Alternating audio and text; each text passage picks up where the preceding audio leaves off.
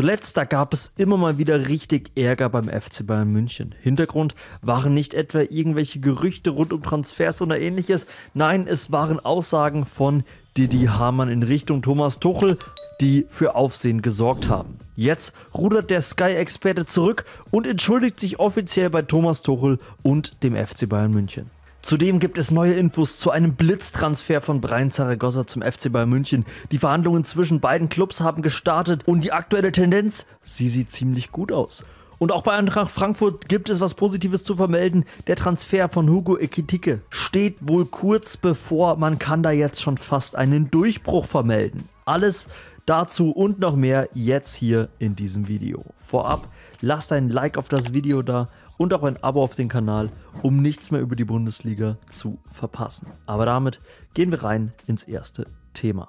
Ja, es war eins der Themen, die uns in den letzten Tagen hier auf dem Kanal auch sehr beschäftigt haben. Didi Hamann hat eine massive Medienschelte in Richtung Thomas Tuchel ausgepackt. Er kritisierte ihn für die Spanien-Aussagen. Ja, Hintergrund ist, Thomas Tuchel, er wurde bei einem Fanclub-Besuch gefragt, wo er denn gerne mal noch trainieren würde, beziehungsweise auch über seine anderen Auslandsstationen, was er da so gelernt hat. Und da hat er auch über die spanische Liga gesprochen und die spanische Mentalität im Allgemeinen. Ja, und da so ein bisschen darüber gesprochen und dass es auf jeden Fall auch eine sehr interessante Liga ist und die spanische Mentalität ihm auch grundsätzlich gefallen würde. Und da ging so ein richtiges kleines Feuerwerk los bei Sky 90. Da hat, ja, ich sage mal, Didi Hamann so richtig gegen Tuchel ausgepackt. Er hat gesagt, das geht gar nicht, dass er solche Aussagen bringt. Das würde die Bayern-Bosse äh, auch nicht erfreuen und redet hier darüber, dass er der Nachfolger von Xavi Hernandez werden will, dass er zu Barcelona will. Also er hat sehr, sehr viel in diese Aussagen rein interpretiert und das hat auch dazu geführt, dass sich jetzt eben auch die Bayern-Bosse zu Wort gemeldet haben und einen offiziellen offizielles Statement rausgegeben haben und da auch gesagt haben, ja, nee, das lassen wir so nicht mehr zu, das lassen wir nicht mehr mit uns machen, solche Falschaussagen über unseren Trainer, das stimmt alles nicht, der hat nie über Xavi gesprochen, er hat nie über Barcelona gesprochen, er hat rein auf eine Frage von Fans geantwortet, einfach über seine Auslandsstation, über Paris, über Chelsea, über England, über Frankreich und auch eben über Spanien gesprochen, aber es ist nie ein konkreter Club gefallen. Und jetzt hat sich tatsächlich der TV-Experte Didi Hamann zu Wort gemeldet und sich beim FC Bayern München und bei Thomas Tuchel entschuldigt. Er sagte, er hat nicht gesagt, dass er gerne mal in Barcelona oder in Spanien trainieren wolle. Dafür möchte ich mich bei Thomas Tuchel und den Bayern entschuldigen. Er habe die Aussagen von Thomas Tuchel nicht richtig wiedergegeben bzw. falsch interpretiert. Hintergrund ist, er hat wohl erst kurz vor der Aufzeichnung der TV-Sendung von den Aussagen des Bayern-Trainers erfahren und habe diese, ich zitiere, in der emotionalen Diskussion darauf Bezug genommen und so haben wir es halt gesehen, dann falsch wiedergegeben. Damit rudert der TV-Experte Didi Hamann oder auch Dittmar Hamann, das einige von euch wissen gar nicht, dass er Dittmar heißt. Das war mir ganz, ganz äh, komisch in den Kommentaren. Aber naja, auf jeden Fall rudert er hier zurück und entschuldigt sich bei Tuchel. Ob Thomas Tuchel die Entschuldigung annimmt, ob die Bayern diese Entschuldigung annehmen, das wage ich jetzt einfach mal in den Raum zu stellen, dass sie das tun werden. Trotzdem ist eigentlich schon vorprogrammiert, dass diese beiden Parteien noch öfter aneinander stoßen werden. Da sind in, letzten, in der letzten Zeit, in den letzten Jahren so viele Aussagen gegeneinander geflogen. Er hat Thomas Tuchel auch ja nicht nur für diese Aussagen kritisiert und das hat er nicht zurückgenommen, sondern es ging ja auch darum, dass er allgemein findet, dass Thomas Tuchel gar nicht zum Verein passt, dass der Trainer das weiß, dass der Verein das weiß und dass es jetzt eher, eher nur noch so eine notdürftige Zusammenarbeit ist. Das alles sind Aussagen, die er getätigt hat. Das alles sind Aussagen, die er auch erstmal so im Raum stehen gelassen hat. Von daher bin ich mal gespannt, was wir dann in den nächsten Monaten noch erleben werden. Mittlerweile haben wir es von Tuchel auch öfter mal erlebt, dass er sich auch mal richtig wehrt. Finde ich eigentlich ganz gut. Finde ich gut, dass die Medien dann auch mal, auch von einem Trainer mal eine Ansage bekommen. Und Thomas Tuchel, er ist da auch vielleicht der Richtige, der gerne auch mal so den ein oder anderen TV-Experten oder möchte gerne TV-Experten einschult. Wie seht ihr das ganze Thema? Ist es damit für euch beendet oder seid ihr immer noch kritisch gegenüber Didi Hamann eingestellt?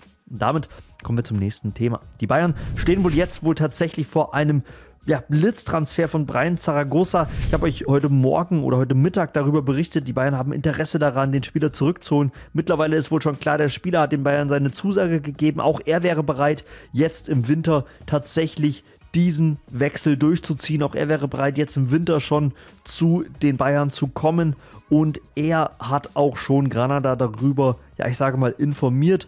Und Granada, sie sind eigentlich nicht so bereit, ihn ziehen zu lassen, aber jetzt hat Fabrizio Romano quasi mit Veröffentlichung dieses Videos, also wirklich punktgenau, als ihr das Video seht, ist es eigentlich die Nachricht auch schon rausgekommen, hat jetzt auch Granada die Bayern angefragt, bitte schreibt uns doch jetzt einfach mal ein formelles Angebot, gebt mal ein Angebot ab und dann werden wohl auch die Vereinsverhandlungen beginnen. Bedeutet ja, wahrscheinlich muss man ja einfach nur etwas den Geldhahn aufdrehen. Es ist halt äh, meistens so, Granada ist letztendlich auch möglicherweise auf das Geld angewiesen. Brian Zaragoza wird damit aller Voraussicht nach, wenn jetzt nicht Granada Unmengen an Geld verlangt, schon in diesem Winter zu den Bayern wechseln. Also sprich heute oder morgen. Also viel länger geht es ja nicht. Das Transferfenster schließt morgen Abend. Von daher muss es jetzt schnell gehen. Und wenn ihr jetzt nach konkreten Zahlen oder ähnlichem fragt, da ist wirklich absolut gar nichts bekannt, was die Bayern da noch an Geld obendrauf zahlen müssen.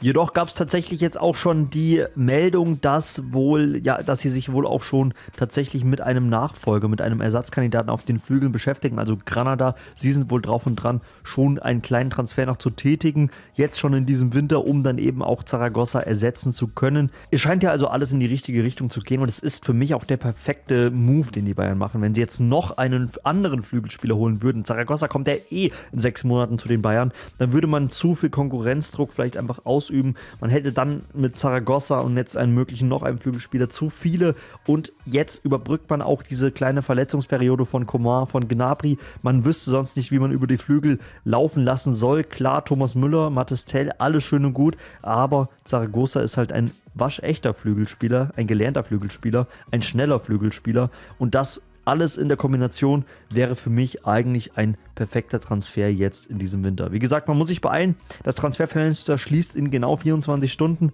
Von daher bleibt nochmal abzuwarten, ob es dann wirklich klappt. Und ja, in den letzten 24 Stunden gibt es noch mehr zu vermelden, denn anscheinend steht jetzt auch Eintracht Frankfurt kurz vor einem Transfer von Hugo Ekitike.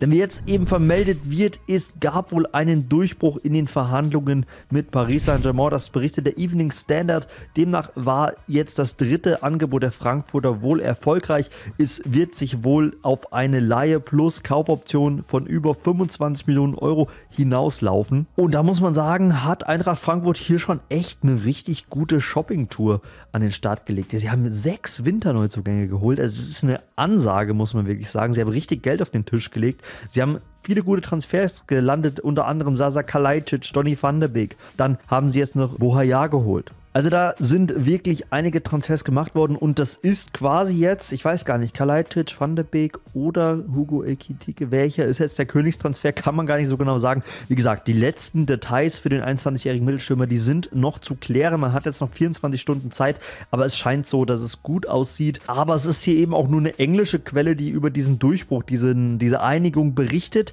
und auch gar keine konkreten Zahlen benennt. Eine äh, also Bestätigung seitens deutscher Medien, sprich, keine Ahnung, Sky Bild oder sonst was, das steht noch auch. Auch französische Medien sind bis dato noch ruhig. Von daher müssen wir noch mal schauen, ob wir dann auch jetzt hier die offizielle Bestätigung zumindest mal aus Deutschland oder aus Frankreich bekommen. Das sind aber die ersten Meldungen, die uns jetzt hier eingetrudelt sind. Das soll es von mir gewesen sein. Was haltet ihr von den Themen von heute? Eure Meinung in die Kommentare. Bis dahin, Leute. Ciao.